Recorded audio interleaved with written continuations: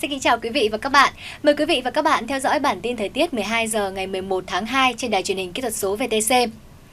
Thưa quý vị và các bạn, hôm nay ngày làm việc đầu tiên sau kỳ nghỉ Tết Nguyên đán, thời tiết tại cả ba miền đất nước đều phổ biến nắng giáo, không gây chút bất lợi nào cho các hoạt động lưu thông.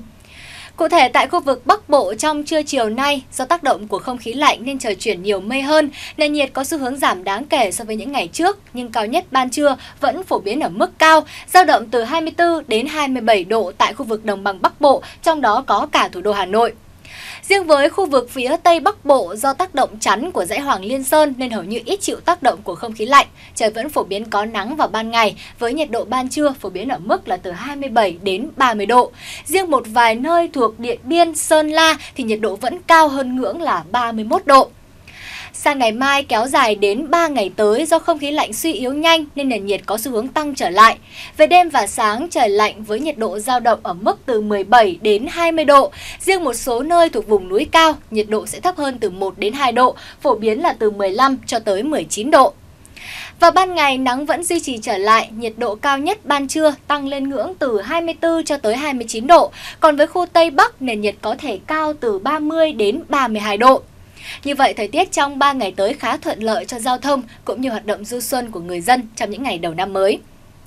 Đến với khu vực Trung Bộ trong 3 ngày tới nói chung, thời tiết ít biến đổi. Tại các tỉnh từ Thanh Hóa cho tới Thừa Thiên Huế, về đêm và sáng trời nhiều mây có sương mù. Nhiệt độ thời điểm này phổ biến là từ 19 cho đến 22 độ. Đến trưa chiều, trời nắng với nhiệt độ ban trưa sẽ tăng mỗi ngày khoảng 1 độ, giao động trong ngưỡng từ 26 đến 31 độ. Trong khi đó, tại các tỉnh từ Đà Nẵng đến Bình Thuận vào đêm và sáng sớm, mưa rào cục bộ xảy ra ở một vài nơi thuộc Bình Định hay là Phú Yên, nhưng lượng không nhiều và kết thúc nhanh.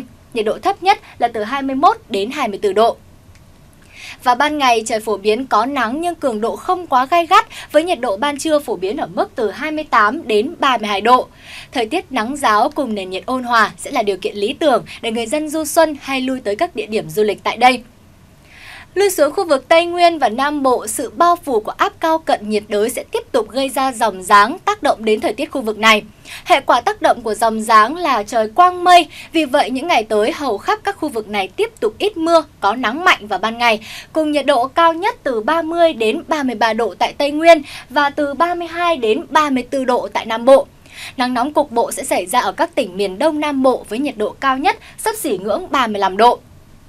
Cùng với đó, độ ẩm ban trưa giảm thấp, đặc biệt là tại khu vực Tây Nguyên. Độ ẩm chỉ phổ biến từ 25 đến 50% nên sẽ càng tăng thêm cảm giác khô nóng. Người dân tại khu vực này nên bổ sung thêm nước để tránh tình trạng thiếu nước và mệt mỏi. Và tiếp theo sẽ là phần dự báo chi tiết trong 3 ngày tới cho các khu vực trên cả nước. Phía Tây Bắc Bộ 3 ngày tới phổ biến ít mưa, sáng sớm có sương mù, trưa chiều giảm mây trời nắng, nhiệt độ cao nhất là từ 26 cho đến 32 độ. Khu vực phía Đông Bắc Bộ trong 3 ngày tới mưa ít xuất hiện, sáng sớm có sương mù và sương mù nhẹ rải rác. Nhiệt độ cao nhất ngày phổ biến trong khoảng là từ 24 đến 27 độ. Khu vực từ Thanh Hóa tới Thừa Thiên Huế, 3 ngày tới đêm có mưa vài nơi, sáng sớm có sương mù và sương mù nhẹ rải rác, trưa chiều giảm mây trời nắng. Nhiệt độ cao nhất sẽ tăng mỗi ngày khoảng 1 độ, phổ biến từ 26 cho đến 31 độ. Khu vực từ Đà Nẵng đến Bình Thuận, trạng thái thời tiết chủ đạo tại khu vực này vẫn là ngày nắng, nhiệt độ cao nhất ngày ổn định trong khoảng 28 đến 31 độ trong hai ngày 12 và ngày 13, sau tăng lên từ 29 đến 32 độ trong ngày 14. Khu vực Tây Nguyên 3 ngày tới phổ biến không mưa ngày nắng, nhiệt độ cao nhất là từ 30 cho đến 33 độ. Khu vực Nam Bộ trong những ngày tới phổ biến đêm không mưa ngày nắng, riêng miền Đông có nơi nắng nóng, nhiệt độ cao nhất là từ 32 cho tới 35 độ. Trở ra với thủ đô Hà Nội trong 3 ngày tới mưa ít xuất hiện, sáng sớm có sương mù và sương mù nhẹ rải rác, nhiệt độ cao nhất ngày phổ biến trong khoảng từ 24 đến 27 độ. Trên biển tại khu vực Bắc và giữa Biển Đông bao gồm cả vùng biển huyện đảo Hoàng Sa những ngày tới phổ biến ít mưa, thịnh hành gió đông đến đông bắc cường độ gió trung bình ở mức cấp 4, cấp 5. Sáng sớm có sương mù, tầm nhìn xa trên 10 km, giảm xuống dưới 1 km trong sương mù. Tại khu vực Nam Biển Đông, bao gồm vùng biển huyện đảo Trường Sa, thời tiết cũng không có nhiều biến động.